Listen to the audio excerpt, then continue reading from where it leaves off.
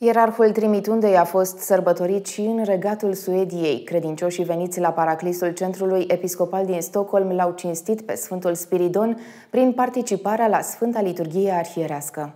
Sfânta Liturghie a fost săvârșită de preasfințitul Părinte Macarie, episcopul ortodox român al Europei de Nord. În cuvântul de învățătură, preasfinția sa a vorbit despre viața Sfântului Spiridon și legătura dintre acesta și Sfântul Ierarh Nicolae. Astăzi Prăznuim un mare sfânt al darurilor și milei cerești, pe smeritul arhipăstor Spiridon al Trimitundei Ciprului, cel care ne-a adunat și acum la dumnezeasca liturghie ne ajută împreună cu Sfântul Erar Nicolae să intrăm în această atmosferă a căldurii sufletești, specifică prasnicului nașterii Mântuitorului Iisus Hristos. Sfântul Erar Spiridon ne învață să fim iubitori și smeriți. El însuși a fost smerit. A rămas păstor în simplitatea și sinceritatea inimii sale toată viața.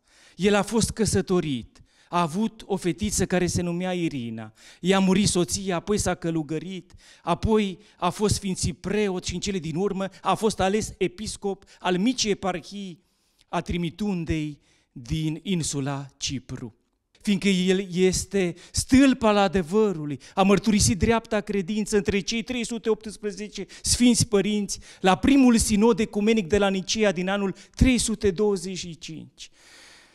A săvârșit atunci o mare minune, o demonstrație pe viu a dogmei preasfinte și de viață făcătoare treimi, a faptului că Dumnezeu este unul slăvit în trei postasuri, Tatăl, Fiul și Duhul Sfânt.